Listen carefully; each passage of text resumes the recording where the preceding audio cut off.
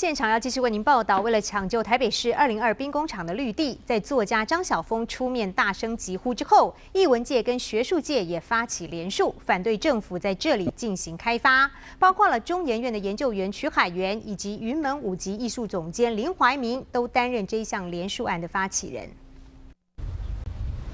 水鸟栖息，绿叶迎风摇曳。这是中研院预定开发生技园区的所在地。在作家张晓峰之后，中研院社会所研究员曲海源也疾呼反对。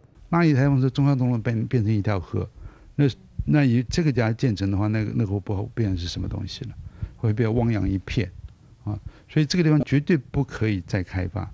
身为中研院的一员，曲海源却极力反对。他认为，虽然生技园区只占二十五公顷，但只要一通过，接下来二零二兵工厂还有一百四十四公顷的特定专区，将被台北市府 BOT 盖企业总部、研发中心，甚至豪宅。因此，中研院千万不能打头阵。研究院开发的话，别人就可以跟进啊。那最严重的是叫做特定专用区的计划。是有一百四十四公顷。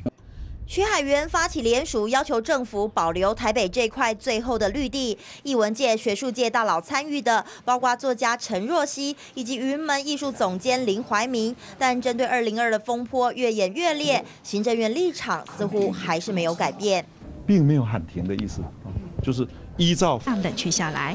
记者陈小青、陈昌伟、马台新台北报道。